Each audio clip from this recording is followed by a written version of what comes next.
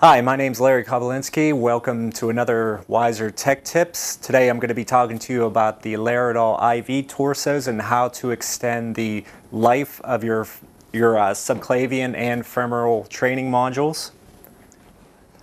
As you can see, these modules that are provided with your trainer have a somewhat short lifespan. And I'm going to give you some uh, simple, easy steps on how to extend the life of these modules. Okay. And here are some of the supplies that you're going to need. You're going to need a, an IV catheter. We uh, retrieved this from one of our old central line kits that uh, was left over from a previous class. Some IV tubing with a Luer lock connector.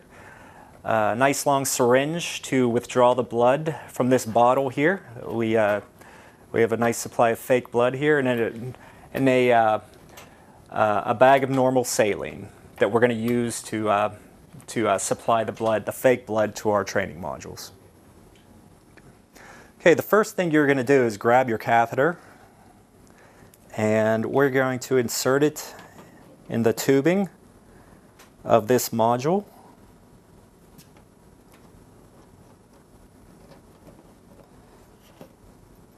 And I'm going to stick it in like that. And you should see a little bit of blood coming out of the needle. And now I'm going to connect the tubing as soon as possible. And I'm going to make sure it's clamped so we don't lose any of the blood in that vein. So there we go. I'll set that aside. And now I'm going to grab my uh, needle here and withdraw some blood from the bottle. Some this fake blood.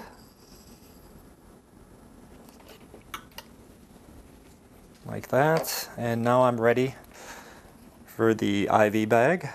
And I'll inject this. I'll inject this into the IV bag.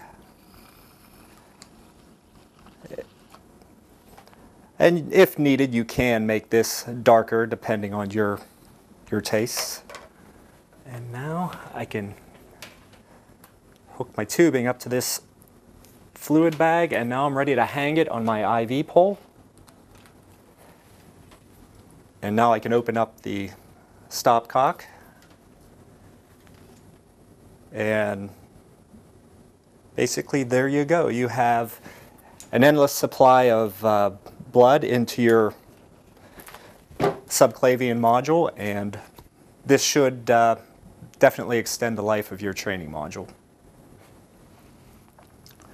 Another easy step you can use to extend the life of your Laerdal IV torso training modules is wiping them clean after a class. As you could see, uh, these modules become stained uh, over time and uh, with uh, use, but you can wipe them clean. Let me show you how to do that. First, you're just going to grab a, a wet rag that's sort of, you know, very wet. As you can see, it's dripping, and I'm going to wipe that clean.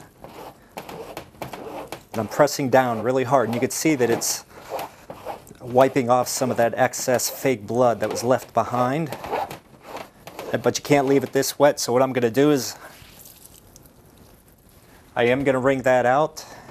And now I'm wiping off some of the excess water. This does help to whiten it, to clear it up, make it look somewhat unused, and to you know continue this uh, procedure, and it should definitely you know extend the life of your module.